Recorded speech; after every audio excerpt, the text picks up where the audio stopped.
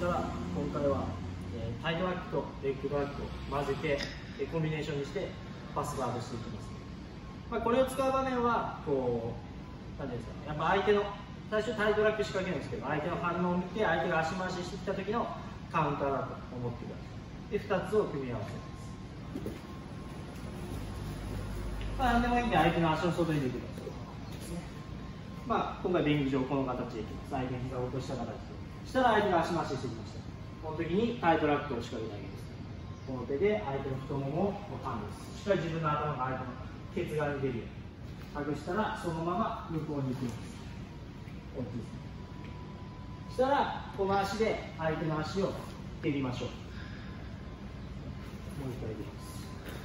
落とす相手が足回ししてきたらこっちですでこのまま押さえられればいいですけどまあ基本やっぱこの形を押さえられない一回土台作ってこっちの足でしっかりフックしましょう。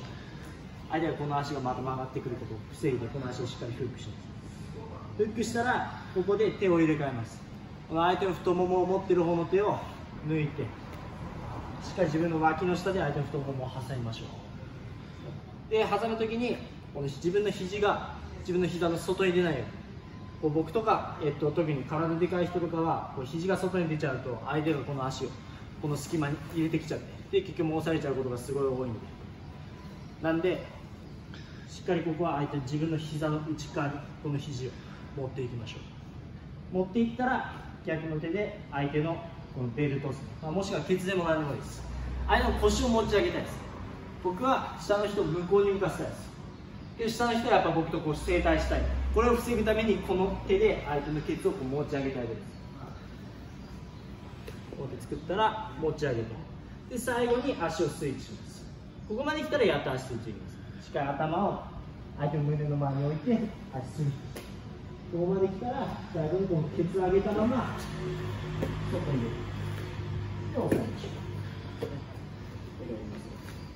う落とす。回ってきたらこっちでまあ大抵こうレイングレッグドラッグみたいな感じになります。この場合も一緒です。しっかりこの手抜いて相手の襟持ったら起き上がる土台作ってケツ引き上げるで頭の前あ胸を相手の頭を相手の胸の前しっかり押さえたらそのまま外に。で押さえましょう。ですね。